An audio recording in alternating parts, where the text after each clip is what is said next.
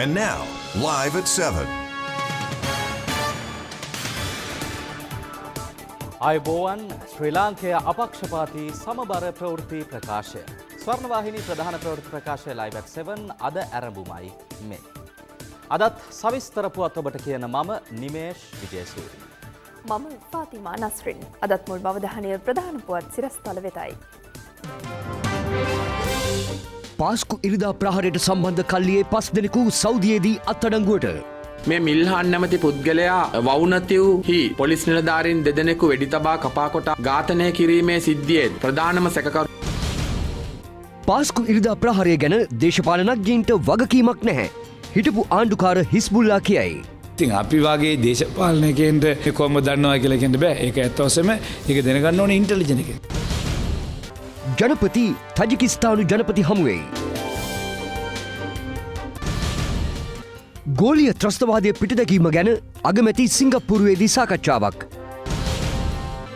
වලව කලාපේ ඉඩම් බලපත් ලබාදීමක් නිර්ධහරීන් පිරිසක් මගහරි. අපේ ඉඩමට ඔප්පු නැහැ කියලා අපේ ළමයි අපිට සාප කරනවා. අවුරුදු 70 රවට්ට පොහෙලා අපිට තවත් ඉතර රවට්ටන්න කියන්නේ. මහත්වරුන්ගේ ක්‍රීඩාවෙන් පසු සිදු වූ දේ.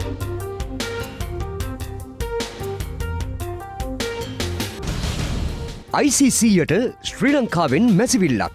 ඕල් එකෙත් ගහන්න පාලොස්සෙන්ද ගහන්න යන මච්චකට සෑන තනකොල ප්‍රමාණයක් තියන දවස්ටික ඩිස්සල ඉන්දියාව සෙල්ලංකර ඔස්ට්‍රේලියාව එක ම බැලුව ඒ පිච්චකත් ඒක සෑන දුමුරුයි කාඩිෆ්ලත් අපිට දුන්නේ පලනි මැස් දෙකටම හුඟක් තනකොල තියෙන පිසස්. පාස්කිරිදා ප්‍රහාරයන්ට සම්බන්ධ ත්‍රස්ස කණ්ඩායමේ ප්‍රබල සාමාජිකයකු ඇතුළු පස් දෙනෙකු සෞදි අරාබියේදී අත්අඩංගුවට ගෙන තිබෙනවා.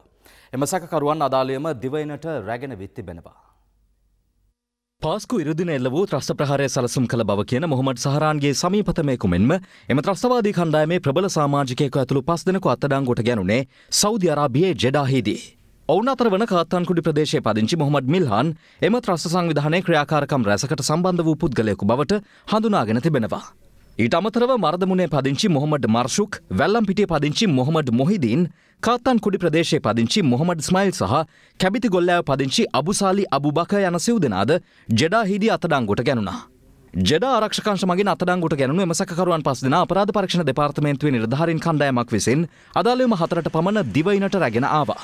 ඒ UL දෙසි අසූ දෙක දරන ගුවන් යානයෙන්. සහරාන් නැමති මරාගෙන මැරුණු බෝම්බකරුගේ ඉතාම සමීපතමයෙක් දෙදස් දහට නොවැම්බර් මාසෙදි වවුනතිව් හි මාර්ගබාධක රාජකාරයක නිරතව සිටි පොලිස් නිලධාරීන් දෙදෙනෙකු වෙඩිතබා කපාකොටා ඝාතනයට ලක් වුණා. ඒ පොලිස් නිලධාරීන් දෙදෙනා ඝාතනය කිරීමේ සිද්ධියේත් ප්‍රධානම සැකකරු වෙන්නේ මේ අද රැගෙන පැමිණීමේ මිල්හාන් නැමති පුද්ගලයා. මේ වන විට මොවුන් කොළඹ අපරාධ පරීක්ෂණ දෙපාර්තමේන්තුවට රැගෙනවෙත් එහි රඳවා තබාගෙන වැඩිදුර විමර්ශන සිදු කරනවා. අපරාධ පරීක්ෂණ දෙපාර්තමේන්තුව පැවසුවේ දිවයිනට රැගෙන සැකකරුවන්ගෙන් ප්‍රශ්න කිරීම ආරම්භ කළ බවයි. මේ අතර මොහොමඩ් සහරන් සමග සමීප සබඳතා පැවැත් වූ බව කියන තිස් නවහැවරදි පුද්ගලයෙකු සහ හතලිස් දෙහැවරදි පුද්ගලයෙකු ඊයේ මහනුවර හිඟුල ප්‍රදේශයේදී අත්අඩංගුවට ගැනුණා. ඒ යුද හමුදා බුද්ධ්‍යංශය සහ ත්‍රස්ත විමර්ශන ඒකකයේ ඒකාබද්ධව සිදු කළ මෙහෙයුමකින්. මෙවන විට පාස්කු ඉරිදා ත්‍රස්ත ප්‍රහාරය සම්බන්ධෙන් සැකකරුවන් සියකට අධික සංඛ්‍යාවක් අත්අඩංගුවටගෙන විමර්ශන ක්‍රියාත්මක කරමින් පවතිනවා. අප්‍රේල් විසියක ප්‍රහාරයට අදාළව අත්තඩංගුවට ගන්නා ලද සැකකරුවන් හැත්ත හතක් අපරාධ පරීක්ෂණ දෙපාර්තමේන්තුව භාරයේත් තවත් සැකකරුවන් විසි පහක් ත්‍රස්තවාදී විමර්ශන කොට්ටාසේ භාරයේත් රඳවා තබාගෙන මේ වෙද්දි ප්‍රශ්න කරනවා අද අල්ලුවේ මත්තඩංගුවට අරගෙන දැනට කොළඹ අපරාධ පරීක්ෂණ දෙපාර්තමේන්තුවේ රඳවා තබාගෙන සිටින සැකකරුවන් පස් දෙනත් ඇතුළත්ව තිබෙනවා මේ සැකකරුවන් පිළිබඳව විධිමත්ව ඒ විමර්ශන සිදුවෙනවා. පාස්කු ඉරිදා සිද වූ ප්‍රහාරමාලාව වලක්වා ගැනීමට නොහැකිවීමේ වගකීම මෙරට බුද්ධි අංශ සතු බව නැගෙනහිර පළත් හිටපු ආණ්ඩුකාර හිස්බුල්ලා මහතා පවසනවා. හිස්බුල්ලා මහතා මේ බව සඳහන් කළේ රජයේ ආයතනවල සිද වූ අක්‍රමිකතා සම්බන්ධයෙන් සොයා බලන ජනාධිපති පරීක්ෂණ කොමිෂන් සභාවට ප්‍රකාශයක් ලබා දීමට පැමිණි අවස්ථාවේදී. දෙදහස් පහළ වසරේ සිට දෙදහස් දහට වර්ෂය දක්වා රාජ්‍ය ආයතනවල සිදුව අක්‍රමිකතා සම්බන්ධයෙන් සොයා බලන ජනාධිපති පරීක්ෂණ කොමිසන් සභාවට අද පෙරවරුවේ නැගෙනහිර පළාත් හිටපු ආණ්ඩුකාර එම්එල්ඒම් හිස්බුල්ලා මහතා පැමිණියේ මඩකලපුව පූනානි ප්‍රදේශයේ ඉදිකරන මඩකලපුව පෞද්ගලික විශ්වවිද්‍යාලය සම්බන්ධයෙන් ප්‍රකාශයක් ලබාදීම සඳහායි. පැතුන හමාරක කාලයක් කොමිස මහමුවේ ප්‍රකාශයක් ලබාදුන් හිස්බුල්ලා මහතා මාධ්‍යයට මෙසේ අදහස් පල කළ. මොකටද කැඳවලා තිබේ අපේ බැටික්ලෝ කැම්පස් ප්‍රයිවට් ලිමිට උසස් අධ්‍යාපන ආයත සම්බන්ධය ඇතවසම මේක වැරදි විදිට හොමතන්නේ ආරම්භ කරලා තියෙනවා ශරිය සබ්ජෙට එක උගන්වන කියලා දන්න විදිහට කියලා ඇතිවාගේ නමුත් මම කිව තාම පටන්ගත්තත් නෑ. ජනතාව අතර අද අසමගී වගේ නිකන් අවිශ්වාසය වගේ ඇති වෙලා තියෙනවා. ඒකට සම්පූර්ණයෙන් වග කියන්න ඕනේ අර වගේ සිද්ධියක් ඇතිවීම. ඇත්තවසම ත්‍රස්තවාදී මිනිමරු සහරන්ගේ සිද්ධියට මුළු රටේ ප්‍රශ්න වෙලා තියෙනවා. ඒක ඇත්තවසම බාරගන්න ඕනේ intelligence army intelligence police intelligence ටඩ සියතම බාරගට ඕන එක. ඒකොල්ලද මේ මට කලප කතා මට කළ ඔක්කොම තියෙන තැන. ති අපි වගේ දේශපාලනයකෙන්ට කොම දන්නවා කියලකෙන්ට බෑ. ඒක ඇත්තවසම එක දෙනගන්න ඕන ඉන්ටලිජන එක. කෙසේ වෙතත් ස්වර්ණවාහිනයට ලබාදුන් විශේෂ සම්මුඛ සාකච්ඡාවකදී හිටපු ආණ්ඩුකාර එම්එල්ඒම් හිස්බුල්ලා මහතා ශර්යා ඉගැන්වීම් සම්බන්ධයෙන් පළ කළේ මේ වෙන්නක්. ශර්යා නීතිය තියෙනවා. තව සඳහන් වෙන ආරාබි පාසල්, ආරාබි විශ්වවිද්‍යාල. ඔබතුමා හිතන්නේ මේ වගේ දේවල් ශර්යා කියන්නේ අපි ආගම. ශර්යා ඉගෙන ගන්න නැතුව මට ආගම කටයුතු කරන්න බෑ. මට මුස්ලිම් කියලා කියන්න බෑ. එක්කෙනෙක් කියනවා නම් මම ශරියා දන්නේ නැහැ කියලා මුස්ලිම් නෙවෙයි. ඒක දින් ශරියා කියනවා බෙල්ල කපන එක, ජිහාද්, ඒ වගේ බොරුව දීලා තියෙන්නේ. එහෙම නෙවෙයි ඒක. ඔබතුමාට අවශ්‍යද? අපි ජාති අතර එකට මුස්ලිම් ජනතාව ඔයගොල්ලෝ ශරියා උගන්වන්න බෑ. අරාබි උගන්වන්න බෑ. කුරුවන් කියවන්න බෑ. කියලා කිව්වොත් අපි එකට සහන ජීවදන්න බෑ. මේ අතර ආන්දෝලනයට තුඩුදී තිබෙන බණකලපුව පෞද්ගලික විශ්වවිද්‍යාලය සම්බන්ධයෙන් අධ්‍යාපන හා මානව සම්පත් සංවර්ධන පිළිබඳ අංශික අධීක්ෂණ කාරක සභාවේදී ඊයේ සාකච්ඡාවට ලක් කර තිබෙනවා. එම අධීක්ෂණ කාරක සභාවට ඊයේ දිනේදී නැගෙනහිර පළාත් හිටපු ආණ්ඩුකාර MLAM හිස්බුල්ලා මහතා ප්‍රකාශයක්ද ලබා දුන්නා. ඇතැම් අවස්ථාවලදී අධීක්ෂණ කාරක සභාවේ නියෝජිතීන් හිටපු ආණ්ඩුකාරවරයාගේ පරස්පර ප්‍රකාශ සම්බන්ධයෙන් ඔහුට අවවාද කිරීමක්ද සිදු කර තිබෙනවා. මේ අතර ඊයේ දින පාස්කු ඉරිදා ප්‍රහාරය සම්බන්ධයෙන් සාක්ෂි විමසන විශේෂ තේරම්කාරක සභාව හමුවේද හිටපු ආණ්ඩුකාරවරයා සාක්ෂි ලබා දුන්නා. රජයේ ඉඩමක පදිජිකට වාර්ෂික අවසර පත්‍ර අපිට ලබා දුන්නා. ඒ ඔක්කොම අක්කර දල වශයෙන් ඔබට මතකද? හෙක්ටර් 3.375 ඒකට බද්ද අපි ගෙවන්න ඕනේ රුපියල් ලක්ෂයක්. ඔබතුමා කිව්වනේ මේ මේ විශ්වවිද්‍යාලය හදන්නේ ප්‍රදේශ අන්ත දුප්පත් ළමයින්ට කියලා. ඔව් සර්. ඒකට පුද්ගලික විශ්වවිද්‍යාලයක් ඔබතුමාට විශාල ණය මුදල් ගෙවන්න තියෙනවා. රයිට්. එතකොට දුප්පත් සයිටම් එකට යන්නේ කොළඹ පොසත්ම ළමයි. මම කියන්නම් සර් කොහමද දුප්පත් ළමයින්ට දෙන්නේ පුද්ගලික විශ්වවිද්‍යාලය? ඔව් මාසකට මිලියන් 100ක් ණය ගෙවනවා. අපේ විශ්වවිද්‍යාලය බලාපොරොත්තු වෙන්නේ සර් 50% තමයි ගන්න බලාපොරොත්තු වෙන්නේ. only 1.2 million 50% ගන්න බලාපොරොත්තු වෙන්නේ. ටජිකිස්ථානයේ සංචාරයක නිරත ජනාධිපති මෛත්‍රීපාල සිරිසේන මහතා අද එරට ජනාධිපතිතුමන් හමු වුණා. එම හමුවේදී ජනාධිපතිතුමන් අවධාරණය කළේ මෙරට ආර්ථිකය ඉදිරියට ගෙන යාමේ ක්‍රියාවලියේදී ලොව සියලු රටවල් සමග සමීපව කටයුතු කිරීම තම අරමුණ බවයි. ආසියාවේ අන්තර්ක්‍රියා සහ විශ්වාසය ගොඩනැංවීමේ පියවර පිළිබඳ පස්වන සමුළු සඳහා සහභාගවීමට ටජිකිස්ථානයට ගිය ජනාධිපතිතුමා අද ටජිකිස්ථාන ජනාධිපතිවරයා හමු වුණා. ටජිකිස්ථානයේ දුෂාන්බේ නගරේ පිහිටි ජනාධිපති මන්දිරය වෙත ගිය ජනාධිපතිතුමාට ටජිකිස්ථාන ජනාධිපතිවරයාගෙන් හිමි වුණේ උණුසුම් පිළිගැනීමක්. මෙම සාකච්ඡාවේදී විධිමත් ක්‍රමවේදයක් ඔස්සේ දෙරටෙහි ද්විපාර්ශය සම්බඳතා ශක්තිමත් කර ගැනීම පිළිබඳ අදහස් හෝ මාර වුණා. එහිදී වැඩදුරටත් සාකච්ඡා වුණේ දෙරට අතර ආර්ථික වර්ධනය හා අන්තර්ජාතික වෙළඳ කටයුතු වර්ධනය කිරීම පිළිබඳවයි. එමෙන්ම දෙරට අතර ආයෝජන සහ ව්‍යාපාරික අවස්ථා හඳුනා ගැනීමේ කඩිනම් වැඩපිළිවෙලක් පිළිබඳවද එහිදී අවධානය යොමුණා. මෙහිදී කලාපි ආරක්ෂාව සම්බන්ධයෙන් සහ මද්‍රවජාවාර්ම මර්ධනය කිරීම සම්බන්ධයෙන් සහයෝගෙන් කටයුතු කිරීමටද එකඟතාව පලවුණා. මේ අතර ජනාධපතිතුමා අද පෙරවරුවේ ටජිකිස්ථාන ජාතික කෞතුකාගාරයේ සංචාරයකද නිරත වුණා.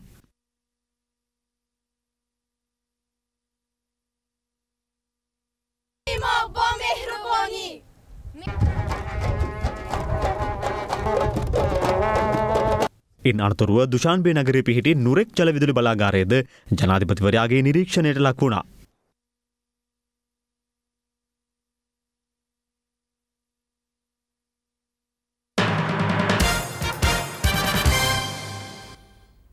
තෙදින සිංගප්පූරු සංචාරය නිමවා අග්‍රාමාත්‍ය රනිල් වික්‍රමසිංහ මහතා අද පස්වරුවේ දිවයිනට පැමිණියා. අග්‍රාමාත්‍යවරයා සිංගප්පූරු සංචාරයේදී එරට ඉහළ පෙළේ නියෝජිතයින් කිහිප දෙනෙකු මුණ ගැසී සාකච්ඡාවල නිරත වී තිබෙනවා. මේ අතර මේ සංචාරයේදී අග්‍රාමාත්‍යවරයා හමු වූ එරට නීතිය සහ ස්වදේශ කටයුතු අමාත්‍යවරයා ඉන්දියන් සාගර කලාපය සාමකාමී ප්‍රදේශයක් බවට පත්කිරීම වෙනුවෙන් ශ්‍රී ලංකාව දරන ප්‍රයත්නය අගය කළා. තෙදින සංචාරයක් සඳහා සිංගප්පූරුවට ගිය අග්‍රාමාත්‍ය රනිල් වික්‍රමසිංහ මහතා සිංගප්පූරු නීතිය හා සුදේශ කටයුතු අමාත්‍ය කේ ෂන්මුගන් මහතා හමු වුණා. ඉන්දිය සාගර කලාපයේ ගැටුම්වලින් තොර නිදහස් හා සාමකාමී ප්‍රදේශයක් බවට පත් කිරීමට ශ්‍රී ලංකාව දරණ ප්‍රයත්නය අගේ කරන බවයි සිංගප්පුරු සුදේශ කටයුතු අමාත්‍යවරයා මේ සාකච්ඡාවේදී අග්‍රාමාත්‍ය රනිල් වික්‍රමසිංහ මහතා සමග පැවසුවේ. එමෙන්ම ඊට පූර්ණ සහය ලබාදීමටත් කටයුතු කරන බව සිංගප්පූරු සුදේශ කටයුතු අමාත්‍යවරයා පැවසුවා. මේ අතර අග්‍රාමාත්‍ය රනිල් වික්‍රමසිංහ මහතා සිංගප්පූරු විදේශ අමාත්‍ය විවියන් බාලකෘෂ්ණන් මහතා සමගද සාකච්ඡාවක නිරත වුණා. එහිදී දෙරටට වැදගත් සමාජ ආර්ථික හා දේශපාලන කරුණු රැසක් සාකච්ඡාවට බඳුන් වූ බවයි අග්‍රාමාත්‍ය කාර්යාලයේ නිවේදනය කළේ. ගෝලිය ත්‍රස්තවාදයේ මැඩ පැවැත්වීම සඳහා ප්‍රති ත්‍රස්ථකාරයන් පිළිබඳ අනුගමනය කළ යුතු සාමූහික පියවර සම්බන්ධයෙන්ද මෙම හමුවේදී සාකච්ඡා වී තිබෙනවා. මේ දිනවල බලපැවැත්වෙන අයහපත් කාලගුණික තත්ත්වය තවදුරටත් පවතිනු ඇතැයි කාලගුණ විද්‍යා දෙපාර්තමේන්තුව පවසනවා. මේ අතර අධික සුළං හේතුවෙන් දිවෙනේ ප්‍රදේශ කිහිපයකින්ම දේපල හානිද වාර්තා වුණා.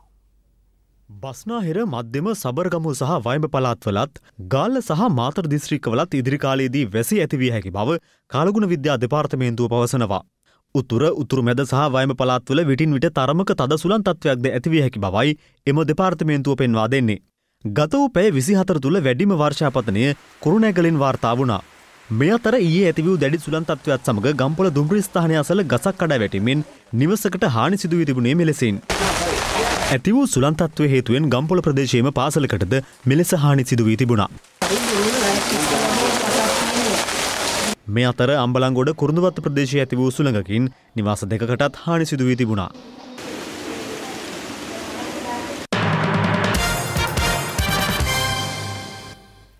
තේරීම් කාරක සභාව හමුවට ආ නැගෙනහිර පළාත් හිටපු ආණ්ඩුකාර හිස්පුල්ලා මහතා දුන් පිළිතුරු සම්බන්ධයෙන් අදෙහි සමාජික අමාත්‍ය රවී කරුණානායක මහතා අදහස් පළ කළා.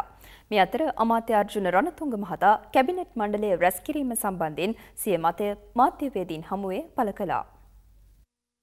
තේරීම් කාරක සභාව ගැන නැති ඒක ඉල්ලීමක් කරපු දෙයක් නේ. තේරීම් කාරික සභාවත් වැඩ කොටස කරගෙන යනවා. අපි රටක් හැටියට කැබිනට් මණ්ඩලය රැස් වෙන්නේ නැත්නම් රටේ ක්‍රියාදාමය ඉදිරියට ගෙනියන්න බෑ. ඒ අපි ඒ කාලය ඇතුළත අපේ වැඩ ටික ඉක්මනට ඉවර කිරීම තමයි බලාපොරොත්තු වෙන්නේ. සිලෙක් කමිටි එකේදී නොයෙකුත් අය ගැනලා ප්‍රශ්න කරනවා. ඊයේ අපි දැක්කා නැගෙනහිර පළාතේ ආණ්ඩුකාර හිටපු ආණ්ඩුකාරවරයා ගැන ප්‍රශ්න කරා මම හිතන්නේ ඔබතුමා ඒ ප්‍රශ්න කිරීම තුළ දැක්කනම් අප ඇහුවෙත් ඒකයි. මේ ශ්‍රී ලංකා අනන්‍යතාවයක් නැති පුද්ගලයෙක් දේශපාලනය කරන්න පුළුවන්ද? ලෝකේ බහුතරයක් තියෙනවා කිව්වම මෙහෙත් ඒ බහුතරය තුලින් ජීවත් වෙන්න හදන අය කිසිසේත්ම ජනතාවත් සමග ගමන් කරන්නේ නැහැ. නමුත් ඒ ප්‍රශ්නේ මම ඇහුවාම ඒක ප්‍රතික්ෂේප කරා. ඉතින් ඒක සතුටක් ඇති වෙනවා. නමුත් නිකරුණේ ප්‍රකාශ කරන්න හොඳ නැහැ කියන එක තමයි තිබ්බේ. අනිත් ප්‍රශ්න සම්බන්ධයෙන් ඒ දුන්න පිළිතුරත් අපි පිළිගන්නේ නැහැ. අප රටේ තියෙන සංස්කෘතිය අපි ආරක්ෂා කරන්න ඕනේ මිසක් වෙනින් තනින් වලින් මෝස්තර අරන් මේ ඇලවීම නෙවෙයි අපට අවශ්‍ය වන්නේ. කැබිනට් මණ්ඩලය මේ වෙනකොට පවත්වන්නේ නැහැ ජනාධිපතිතුමාගේ අනුදැනුම ඇතුව. එන අඟහරුවාදාට 9 මාට කැබිනට් මණ්ඩලය එකතු වෙනවා. හම්බ වෙනවා. විපක්ෂයේ දේශපාලකයන් මේ චෝදනා කරනවා ජනාධිපතිවරයා අග්‍රාමාත්‍යවරයා දෙන්නම විදේශ සංචාර සඳහා ගිහින් තියනවා කියලා. ගියේ නැත්නම් කියයි ගියේ නැත්තේ ගියොත් කියයි ඇයි ගියේ. ඒක තමයි මේ රටේ තියෙන එකම හෙනය. වැඩ කරන්නට අවස්ථාව දෙන්නේ චරිත ඝාතන කරනවා. ඒ කර කර ඉන්න එක විතරයි කරන්නේ. මේක කුහක දේශපාලඥයෝ වැඩ කරන දේශපාලන නැති කරන්න හදර ගමනක්. මේක වැඩියෙන්ම කරේ අපේ පක්ෂ කට්ටිය. අද සාධාරණ ඉෂ්ට කරලා තිබෙන්නේ. මේක මගේ පක්ෂ සුද්ධ කරන්න පටන් ගන්න ගමනක් ලෙසත් මම නම් කරනවා. මේ පොහට්ටුවේ ගොට්ටෝ ටික කීප දෙනෙක් ආවා. ස්වාමීන් වහන්සේ මාව හම්බ වෙන්න. මගේ අමාත්‍යාංශයට. ඇවිල්ලා කිව්වා දැන් මේ විදිහේ දැනුවත් කිරීම වැඩසටහන අපිට කරන්න බෑ. මම මොකක්ද ප්‍රශ්නේ? දැන් මේ හදිසි නීතියක් දාලා තියෙනවා. බෝම්බ පුපුරනවා හැමදැනම 100කට වඩා එක තැනකට රැස් කරන්න පුළුවන් කමක් නැහැ. ඒක නිසා අපිට බෑ කොහොම මේක කරන්න. මම මේ ඒක ඔයගොල්ලන්ගේ ප්‍රශ්නය නෙවෙයි. ආරක්ෂාව ගැන මම බලාගන්න. දැන් ISIS කණ්ඩායමේ පහුගිය දවසේ බෝම්බ පිපුරුණා. අපේ බුද්ධ්‍යාංශ වලට පුළුවන් වුණා සති 3ක් ඇතුළත ඒ ඔක්කොම කණ්ඩායම අල්ලගන්න.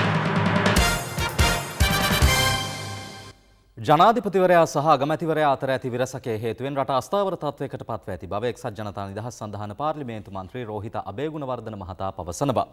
මේ අතර පාර්ලිමේන්තු තේරීම් කාරක සභාව නිසා ත්‍රස්තවාදීන් අත්අඩංගුවට ගැනීමට ඇති අවස්ථාවද මගහැරෙන බවයි අද පැවති මාධ්‍ය හමුවකදී මන්ත්‍රීවරයා වැඩිදුරටත් සඳහන් කළේ. අතිකරු ජනාධිපුත්තුමා තජිකිස්ථානයට ගිහි. අගමැතිවරය සිංගප්පූරුවට ගිහි. සහරාන්ල බෝම්බ ගැහුවේ කියලා නෙවෙයිනේ. යම් ත්‍රස්වාදී ක්‍රියාවක් රට තුළ ක්‍රියාත්මක වුණොත් රටේ ත්‍රිවිධ හමුදාවට පොලිසිය දෙන්න රාජ්‍ය නිලධාරන්ට නියෝගයක් දෙන්න කවුද ඉන්නේ නායකයා.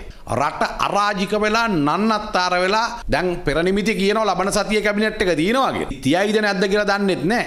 හැබැයි මේ තියෙන කැබිනට් එකට යනකොට හැම එක්කෙනාම මං හිතන්නේ සෝදිසි කළ යවුවොත් හොඳයි. අලිකොටි හම්බෙන තැනක් වගේනේ. ජනාධිපතිතුමයි අගමැතිවරයයි විරසකයක ඉන්නේ. එතකොට කතානායකතුමයි ජනාධිපතිතුමයි විරසකයක ඉන්නේ. UNP එකයි ශ්‍රී ලංකා එකයි විරසකයක ඉන්නේ. ජනාධිපතිතුමාගේ අගමැතිතුමාගේ මේ විරසකය කඹ ඇදිල්ල නිසා මේ පාස්කු ප්‍රාහාරයේ ත්‍රස්වාදීන් හරියාකාරව නීතිය රැහැනට හසු කරගන්න පුළුවන්කමක් ලැබෙන්නේ නෑ. අනේ මේ තේරීම් කාර්ග සභාව අපිට නම් පේන්නේ දැන් සාමාන්‍යයෙන් ඩේකයා සෙන්ටර් කියලා තියෙනවා. අපිට පේනවා සමහර ප්‍රශ්න UNP ප්‍රශ්නයක්. අනිත් ප්‍රශ්නේ JVP ප්‍රශ්න. එහෙනම් මේ නාටකමේ මොකද්ද මේකේ තියෙන යටි අරමුණ? එතකොට ගිවිසුම් ගහපු අයගෙන් ප්‍රශ්න කරන්නේ අනේ තොත් අර අර බොහොම ඩේකයා සෙන්ටර් එක වගේ. අනේ බබා ඔයා අයත් එක ගිවිසුමක් ගැහුවද?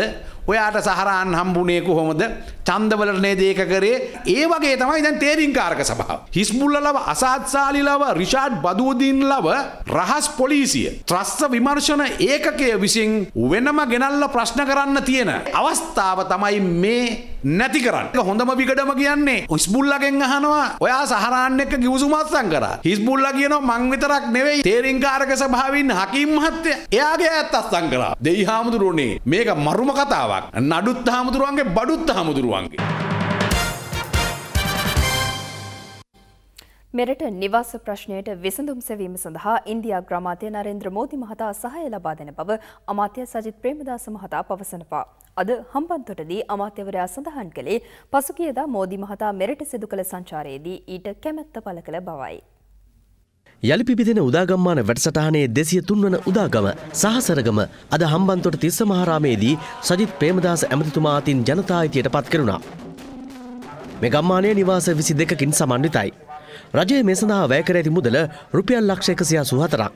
මෝදි අග්‍රාමාත්‍යතුමා ලංකාවට පැමිණි. එතුමා මට කිව්වා ඇති තරම් ගෙවල් හදන්න ලංකාවේ හැම තැනකම ඉන්දියාවෙන් අපි ඕන තරම් සල්ලි දෙන්න. ණය නෙවෙයි. ඕන තරම් ආධාර දෙන්නම් කිව්වා. නිවාස ප්‍රශ්නය සජිත් ප්‍රේමදාස විසඳනවාමයි කියන එක මම මේ අවස්ථාවේ ප්‍රකාශ කරනවා. මහත්මා ගාන්ධිතුමා කියනවා මගේ තාත්තා මට කියලා තියෙනවා මිනිස්සු වර්ග දෙකක් ඉන්නවා. එක මිනිස්සු කොට්ටාසයක් වැඩ කරන කොට්ටා. තවත් කොට්ටාසයක් ඉන්නවා වැඩ කරන්නේ නැතුව ලකුණු දමා ගන්න කොට්ටා. ගාන්ධිතුමා කියනවා එයාගේ පියා කිව්වලු ඔබත් මගේ පුතා හැටියට වැඩ කරන කොට්ටාසයට එකතු. ඔය ලකුණු දමා ගන්න කොට්ටාසයට එකතු වෙන්න එපා. එතකොට ගාන්ධිතුමා අයවලු ඇයි පියාණනි එහෙම කියන්නේ? තාත්තා කිව්වලු වැඩ කරන අය අතර තරංගයක් නැහැ. නමුත් ලකුණු දමා ගන්න අය අතර තරංගයක්.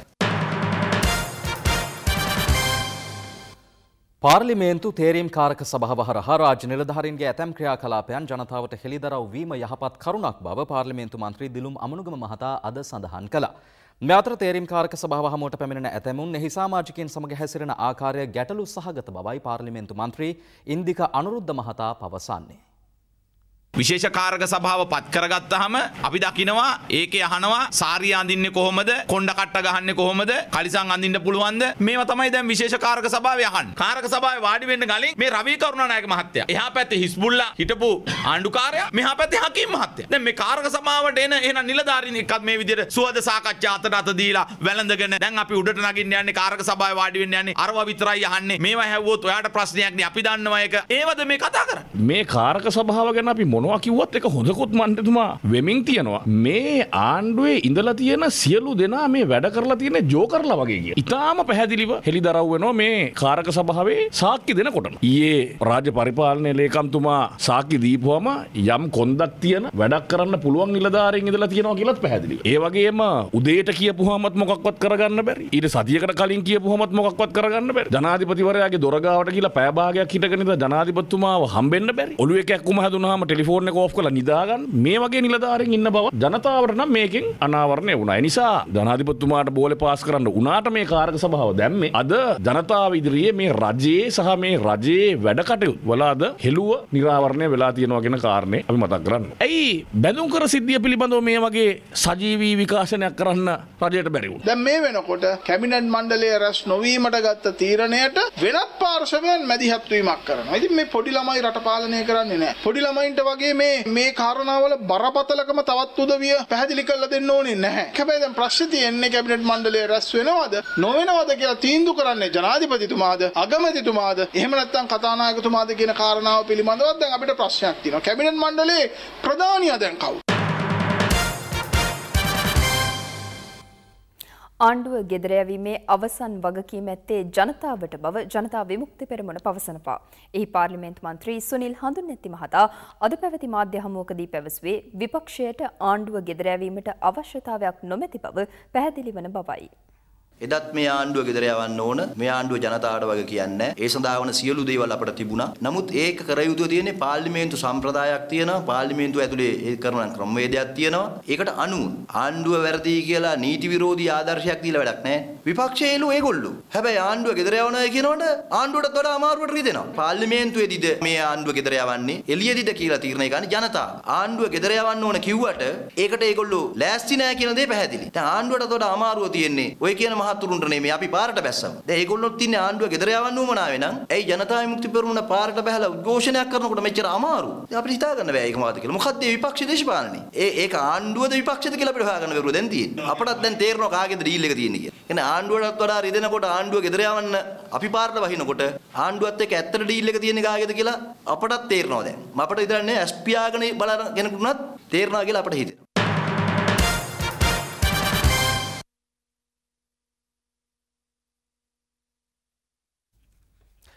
කැබිනට් මණ්ඩලය හෝ පාර්ලිමේන්තුව නොමැතිව ජනාධිපතිවරයාට රට පාලනය කරගෙන යාමේ හැකියාවක් පවතින බව පාර්ලිමේන්තු මන්ත්‍රී පූජාතුරලිය රතන හිමියන් පවසනවා. අද වවුනියාව ප්‍රදේශයේ පැවති මාධ්‍ය හමුවකට එක්වමින් උන්වහන්සේ මේ අදහස් පළ කළා.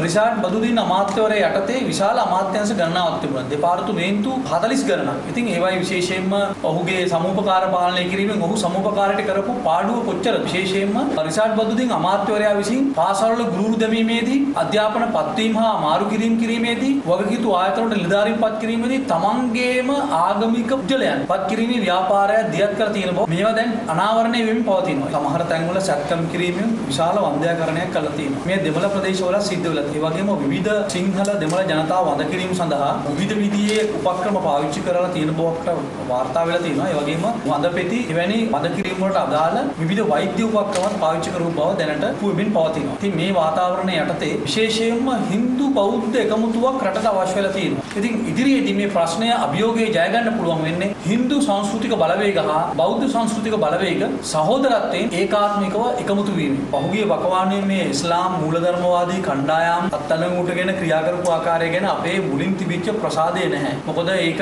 යම්කිසි ආකාරයක ඒකට දේශපාලන නායකත්වයක් නොලැබෙන නිසා බුද්ධියංශ ක්‍රමානුකූලව දුර්වල කරමින් ඉන්නවා දැනුවත්ව. ඒ ඒක වහාම නැවැත්විය යුතුයි. කෙසේ වුණත් තා මාස හතරක් අපට අල්ලන් ඉන්න තියෙනවා ජනාධිපතිවරණ එනකන්. ඉතින් ඊට පස්සේ ජනතාව ඒගොල්ලන්ට හොඳ පාඩමක් උගන්වනවා. දැන් මේ වෙද්දි කැබිනට් එකත් රැස් වෙන්නේ නැහැ. කැබිනට් එක රැස් වුණට කිසිම ප්‍රශ්නයක් නැහැ. ජනාධිපතිවරයාට පුළුවන්කම තියෙනවා පාර්ලිමේන්තුව සම්පූර්ණයෙන්ම නවත්තලා මේ මාස කිහිපය තුළ රටේ වගකිය යුතු බුද්ධිමතුන් ඒකරාශී කරලා ජාතික මණ්ඩලයක් පත් කරලා රට කරගෙන යනවා. සමාජය තුළ විවෘතව කතා නොකලත් කතා කළ යුතුම මාතෘකාවක් පිළිබඳ තොරතුරු අප ඊයේ ඔබ වෙත ගෙනාවා. එහි දෙවන කොටස දැන් මේ අතිශයින්ම පුරුෂයින්ට පමණයි. අතිශයින්ම පුරුෂයින්ට පමණයි.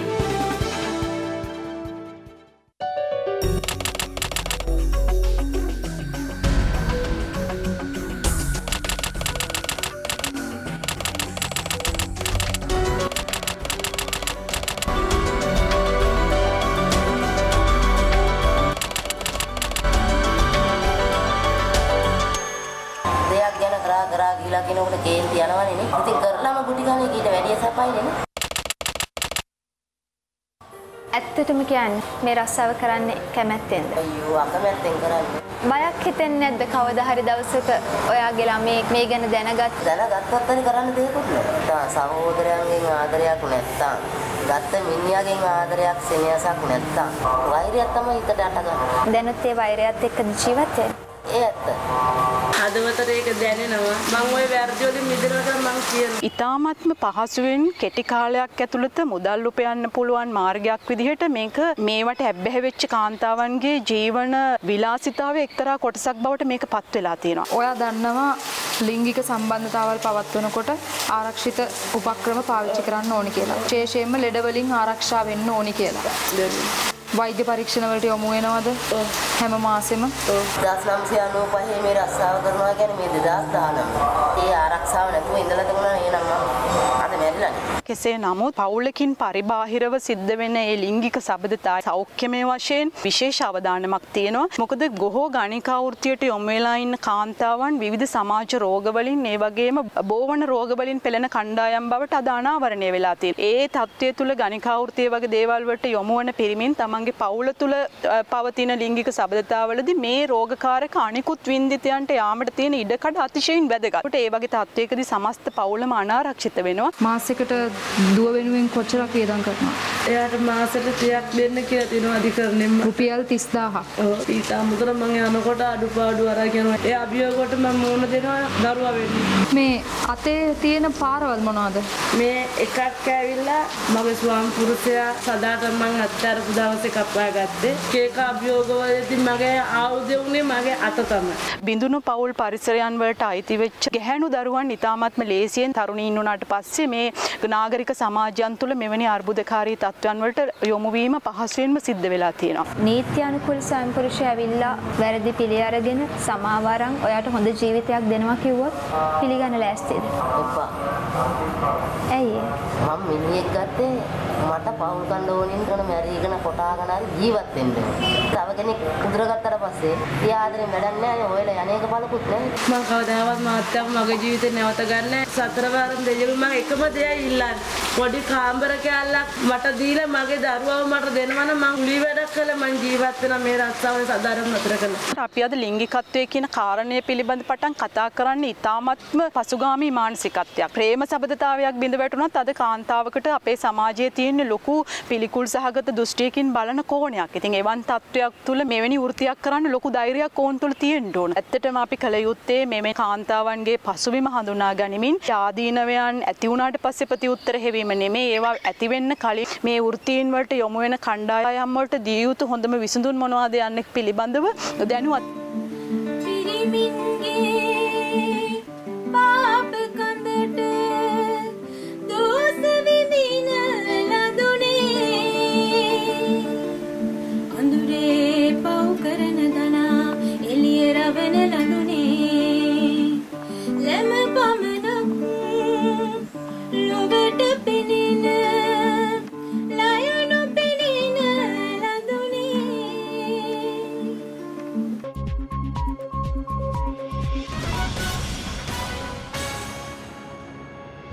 is Live at 7. හැටන් දික්කොය ප්‍රදේශය ක්‍රිකට් තරගයක් අතරතුර දෙපාර්ශවයක් අතර ගැටුමක් හටගෙන තිබෙනවා. ගැටුමට සම්බන්ධ සැකකරුවන් ආරක්ෂිත කැමරා දර්ශන ඔස්සේ අත්අඩංගුවට ගැනීමට අද පොලිසියට හැකියාව ලැබුණා. හැටන් දික්කොය දරවල ක්‍රීඩාංගනයේ පසුගේ නවවනදා පැවති සැහැල්ලු පන්දු ක්‍රිකට් තරඟාවලයක් අතරතුරයි මේ ගැටුම සිදු වුණේ.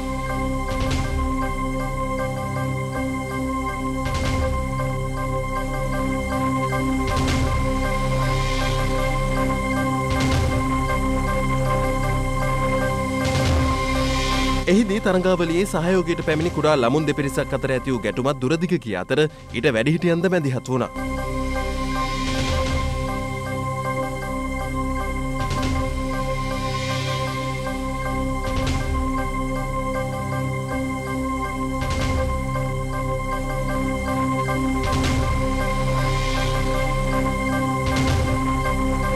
ගැටුමෙන් තිදෙනෙකු තුවාල ලැබූ අතර තුවාලකරුවන්ගෙන් එක් අයෙක් බරපතල තත්ත්වයෙන් මහනුවර ශික්ෂණ රෝහල වෙත මාරු කර යවූ බව හැටන් පොලිසිය පැවසුවා.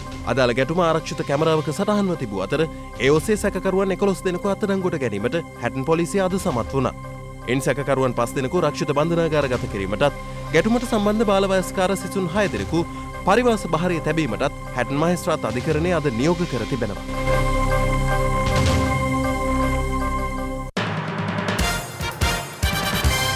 දැන් රටම කෙටියෙන්. රටම කෙටියෙන්. මාලදිවයින් හිටපු ජනපති වත්මන් කතානායක මොහොමඩ් නශීඩ් මහතා හා කැබිනට් මණ්ඩලය තෙදින සංචාරයක් සඳහා අද දිවයිනට පැමිණියා. ඒ අග්‍රාමාත්‍ය රනිල් වික්‍රමසිංහ මහතාගේ ආරාධනයකට අනුවයි. ශ්‍රී ලංකා වාසීන් සහ මාලදිවයින් වාසීන් එකම සම්භවයකින් පැවත එන ඥාතිත්වයකින් යුතු පිරිසක් බවත් ශ්‍රී ලංකාවට සිදුවන විපතක් තම රටට සිදුවන විපතකට සමාන බවත් නශීඩ් මහතා අද ගුවන් තොටුපොලේදී ප්‍රකාශ කළා. පන්නල ඉරබඩගම ප්‍රදේශයේ ඇඟලුම් අපනයන කර්මාන්ත ශාලාවක අද අලුයම ගින්නක් හටගත්තා.